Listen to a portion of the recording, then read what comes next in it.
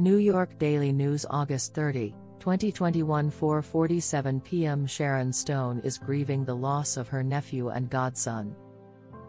In an emotional post on social media on Monday, Stone, 63, shared a video of her 11-month-old nephew River William Stone with a caption that reads, River William Stone September 8, 2020 August 30, 2021.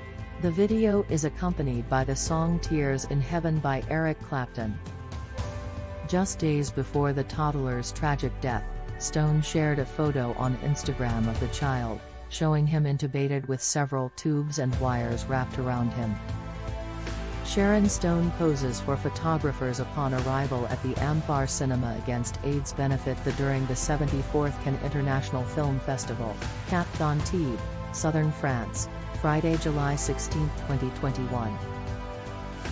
Vianney Le Caer slash Vianney Le Caer slash Invision slash AP, my nephew and godson River Stone was found in his crib W total organ failure, she explained on Friday in an Instagram post.